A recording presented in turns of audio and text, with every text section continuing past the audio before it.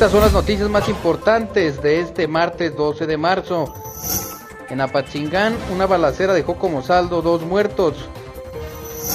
En Buenavista encontraron un cuerpo calcinado en un predio. En Morelia, con una navaja, un sujeto asaltó a los pasajeros de un camión de la ruta Roja 1. Fue detenido por la policía. También en la capital michoacana, un hombre murió al volcar su auto en la carretera Morelia-Quiroga. Hay un lesionado. De igual manera, en Morelia, Julio Arriola Guillén asume nombramiento como encargado de despacho de la Comisaría Municipal de Morelia. Iniciamos. Buenas noches a todos los amigos que siguen la transmisión, les agradecemos el favor de la sintonía. El día de ayer se registró un asalto en un camión de la ruta Roja 1. Sin embargo, este delincuente que subió con un arma blanca y perpetró este atraco contra los eh, usuarios de este vehículo de transporte público fue detenido Marcos en una inmediata movilización de la policía Michoacán. Así es, Conrado, rápidamente esta situación se denunció al 911, lo que permitió la captura de este sujeto. Ojo, se le pidió a los afectados poner la denuncia respectiva porque si no, de nada sirve. Y este delincuente pues saldrá a las calles a hacer lo mismo otra vez. Pues esta información y mucha más a través de Red 113. También ya hay nuevo comisario de la policía de Morelia. Si te parece, Marcos, vámonos a los detalles. Adelante, Conrado. Iniciamos, amigos.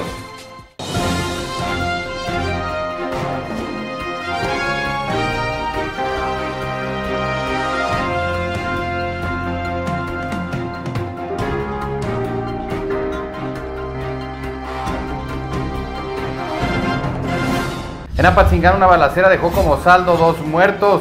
Dos cuerpos sin vida con lesiones de violencia fueron encontrados en una huerta de limón en el poblado Hacienda La Huerta del municipio de Apatzingán. Los fallecidos traían vestimentas tipo militar. La Fiscalía General del Estado inició la carpeta de investigación con relación a estos hechos. El personal de la unidad especializada en la escena del crimen se trasladó al interior de esta huerta ubicado en el poblado en referencia para realizar las diligencias respectivas. Uno de los ahora oxisos fue identificado más tarde como José Armando, de 19 años de edad, de ocupación jornalero, quien a simple vista tenía una lesión ocasionada por un proyectil de arma de fuego.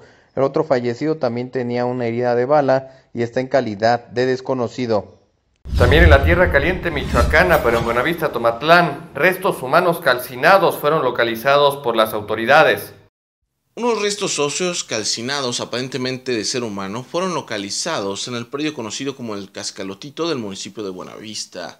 De acuerdo con datos obtenidos por este medio, el personal de la unidad especializada en la escena del crimen acudió al sitio para llevar a cabo las primeras diligencias con relación al caso. Al momento, se ignora de quién pudieran tratarse estos restos y de cuántas personas pudieran ser. Sin embargo, ya fueron trasladados al servicio médico forense para realizar los estudios respectivos con respecto a su análisis e identificación. Informó para Red 113 Javier Magaña. En esta ciudad de Morelia, un sujeto se subió a un camión de la ruta Roja 1, asaltó a los pasajeros y fue detenido por la policía Michoacán. Un sujeto fue detenido por los elementos de la policía Michoacán después de haber cometido un asalto contra los pasajeros de un camión de la ruta Roja 1 circuito en la ciudad de Morelia. Sobre el asunto se pudo saber gracias a contactos policíacos que el individuo se hizo pasar como un usuario más para abordar el vehículo del transporte público en referencia. Sin embargo, ya arriba sacó un arma blanca y les exigió a las personas que le entregaran sus pertenencias. Trascendió que el presunto ampón al cometer el ilícito descendió de la unidad con el objetivo de darse a la fuga. No obstante, los representantes de la ley fueron alertados del robo y activaron un dispositivo por la zona mismo que permitió arrestar al supuesto criminal. El indiciado fue identificado plenamente por los agraviados y enseguida quedó a disposición de la representación social. Asimismo, se detalló que el atraco fue en el libramiento Independencia de esta capital. Anoche en la capital michoacana, un hombre falleció al volcar la unidad en la que viajaba. También hay un lesionado. Un hombre falleció y otro más resultó herido como consecuencia de una volcadura en la carretera Morelia-Quiroga a pocos metros del fraccionamiento La Hacienda. La víctima mortal del accidente está en calidad de desconocido y su cuerpo quedó debajo de un Chevrolet Sonic de color rojo con matrícula PGC 910L.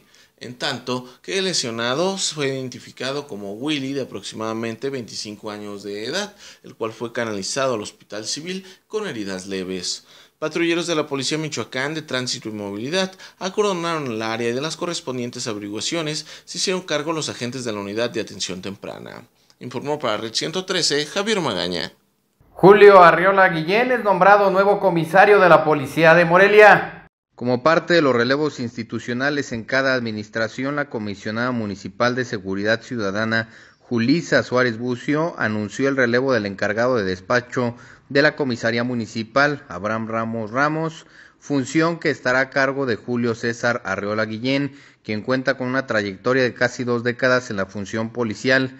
El ex encargado de despacho de la comisaría, Abraham Ramos Ramos, continuará en la corporación municipal toda vez que se integrará como director de la unidad de investigación de la policía de Morelia. Con 39 años de edad, Arreola Guillén se ha desempeñado desde los 15 años de edad en áreas de seguridad, primeramente con su formación en el ejército mexicano Luego se integró a la Secretaría de Seguridad Pública, donde fue responsable de varias áreas, así como coordinador regional de Zamora, mismo que en la Procuraduría General de Justicia del Estado también tuvo diversas responsabilidades. El nuevo encargado de la Comisaría de Morelia también cuenta con capacitación en el extranjero en el FBI de los Estados Unidos de Norteamérica. En Zamora, durante los primeros minutos de este martes, pistoleros ingresaron a una tienda de abarrotes, asesinaron a un ciudadano y también hay un adolescente lesionado. Durante los primeros minutos de este martes, sujetos armados a bordo de una motocicleta agredieron a tiros a un hombre en una tienda del fraccionamiento Altamira, en esta ciudad de Zamora, tras lo cual la víctima falleció y un adolescente resultó lesionado. Los hechos se registraron en el interior del negocio denominado Vinos y Licores Mora, ubicado en el Paseo Altamira número 301 letra B, a donde se movilizaron agentes de seguridad pública ante un reporte ciudadano. Al sitio también arribaron los paramédicos de rescate y salvamento quienes confirmaron el deceso de Jesús Alejandro F., de 32 años de edad, persona que tenía al menos tres impactos de bala en su humanidad. De igual forma, un menor de edad que se encontraba en el establecimiento al momento de la agresión resultó lesionado. Él es Jordan A, de 15 años, mismo que fue auxiliado por los socorristas y trasladado al Instituto Mexicano del Seguro Social. El área fue acordonada en apego a la cadena de custodia y posteriormente agentes y peritos de la Fiscalía Regional se encargaron de emprender una minuciosa recolección de evidencias y de testimonios para iniciar la carpeta de investigación con relación al violento suceso. Vamos a una pequeña pausa, pero regresamos con más información. No sin antes recordarles que nos pueden seguir a través de nuestras diversas plataformas, como lo son YouTube en Red 113 también nos puede enviar sus WhatsApps al 4431 00 35. En Twitter nos encuentra como Red 113 Michoacán, en Facebook como Red 113 y en Instagram como Red 113 Michoacán. Ya volvemos. Urgencias Médicas Vive Lab. Somos un equipo de médicos y paramédicos profesionales en atención prehospitalaria. Contamos con traslados locales y foráneos los 365 días del año, las 24 horas del día. Cobertura de eventos culturales, deportivos y sociales. Llámanos al teléfono 4433 459370.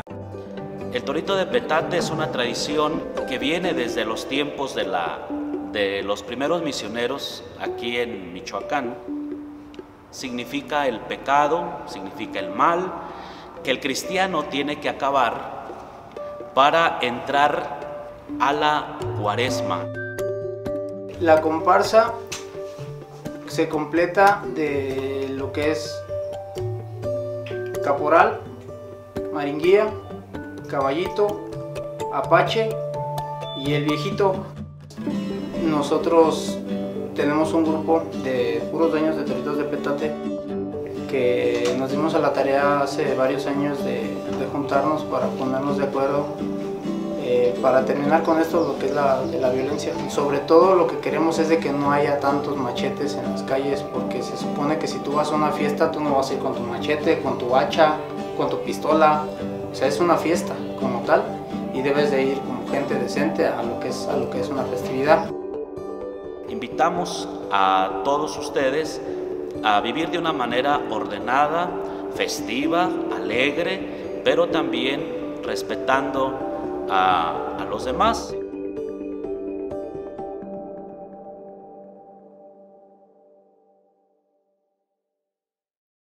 En Salvador Escalante, el chofer de una camioneta perdió la vida después de que su unidad colisionó por alcance contra un tráiler, esto en la autopista siglo XXI. Una camioneta Dodge Caravan impactó en la retaguardia de un tráiler gasero en la autopista siglo XXI. A consecuencia de lo sucedido, el conductor de la unidad pereció al salir proyectado de la misma. En tanto, el camión fue abandonado por su chofer metros adelante.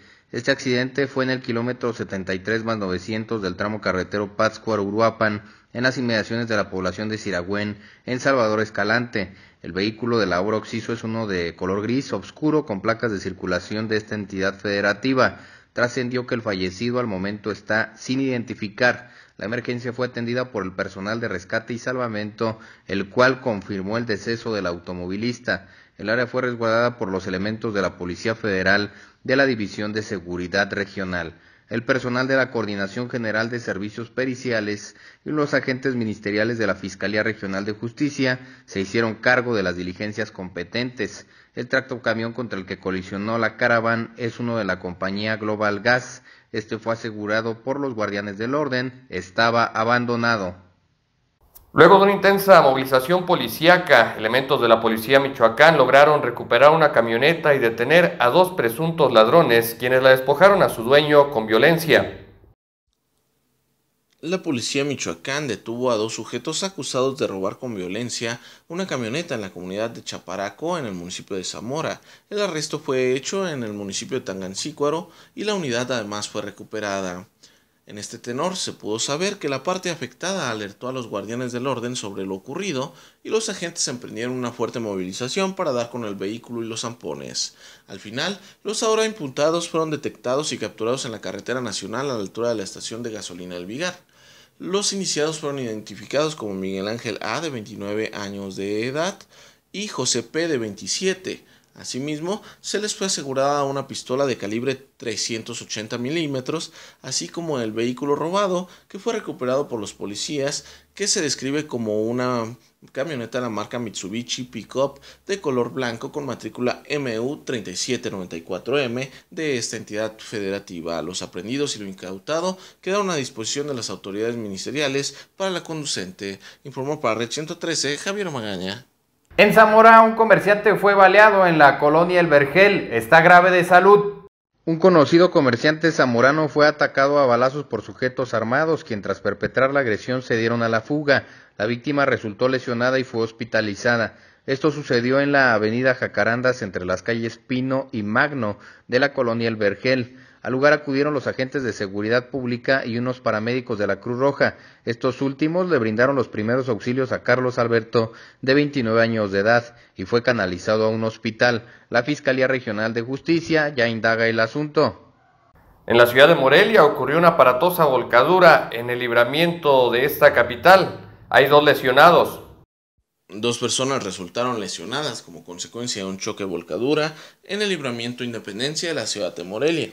La colisión fue entre un par de vehículos compactos, uno de los cuales después volcó. A raíz del incidente, los carriles de la citada vialidad fueron cerrados por varios minutos por los guardianes del orden para evitar otro accidente. Los pacientes fueron atendidos por unos paramédicos locales y estos determinaron que los ciudadanos no tenían heridas de gravedad, en tanto que los oficiales de tránsito se encargaron de los peritajes competentes para definir responsabilidades. Por enésima ocasión, la policía y las corporaciones de auxilio exhortaron a los automovilistas a manejar con precaución para evitar sucesos lamentables y otras consecuencias. Después de las maniobras de ayuda, la circulación vial fue restablecida en el área. Informó para Red 113 Javier Magaña. En esta ciudad de Morelia se registró el deceso de una niña en la colonia El Realito. La Fiscalía General del Estado investiga los motivos. Los elementos de la Fiscalía General del Estado investigan el deceso de una menor que fue encontrada dentro de un domicilio ubicado en la colonia El Realito. A la fallecida no se le apreciaron huellas de violencia, así lo confirmaron contactos policíacos. La situación ocurrió en un inmueble de la calle Patriotas de Jalisco. Al lugar arribaron unos paramédicos que confirmaron el deceso de la pequeña, quien respondía al nombre de Renata de solo cinco años de edad. Los oficiales de la policía de Morelia acordonaron la zona en apego a la cadena de custodia y el caso quedó en las manos de la unidad especializada en la escena del crimen. Será la necropsia de ley la que determine las causas reales de la muerte de la pequeña. Vámonos a una pausa, pero quédese con nosotros en Red 113. La mejor publicidad la encuentras en Red 113. Anúnciate con nosotros al número 4433 187012. Red 113, la mejor opción para ti.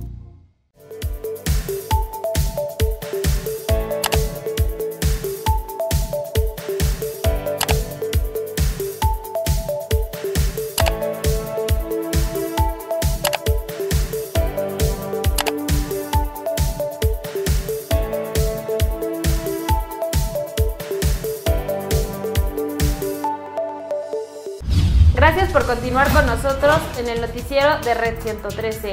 Les comento brevemente que el Ayuntamiento de Morelia sostuvo una mesa de acuerdo con los propietarios del predio Caja Grande. El Ayuntamiento de Morelia, Gobierno del Estado y los propietarios de los lotes que componen el predio Caja Grande, ubicado al norte de la ciudad, instalaron una mesa de diálogo para determinar el proceso a seguir a la problemática que se suscita en el lugar en donde recientemente se observó la presencia de ocupación ilegal de personas en los terrenos, bajo la premisa de que prevalezca el Estado de Derecho para solucionar el conflicto. Los involucrados relataron que en las últimas horas un grupo de personas de una supuesta organización social comenzaron a instalarse en sus tierras, hecho ilegal, lo que alertó a los propietarios, quienes de forma inmediata se agruparon y solicitaron audiencia ante las autoridades pertinentes. El director de gobierno del ayuntamiento, Pedro Vázquez, recibió un grupo de representantes de todos los propietarios para escuchar su versión de los hechos y recibir un pliego a la documentación que los acredita como dueños de la tierra, así como la copia de algunas denuncias ya interpuestas ante la Procuraduría General de Justicia del Estado. En ese sentido, afirmó que el municipio cumplirá con su responsabilidad, que es la de dar seguimiento desde el apartado administrativo, lo que incluye desplazamiento a la zona y a la clausura de obra a construcciones en caso de ser necesario. Siete jóvenes resultaron deshidratados, fueron ayudados por paramédicos y trasladados a un hospital en Lázaro Cárdenas.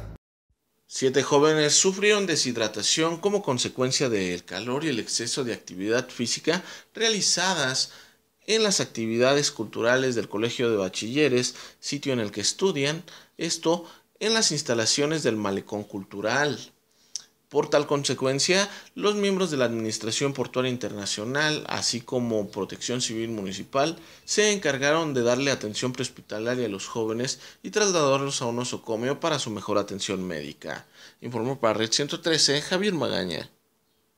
En otra información, del 15 al 17 de marzo se llevará el segundo Festival de Gastronomía en las instalaciones del recinto ferial.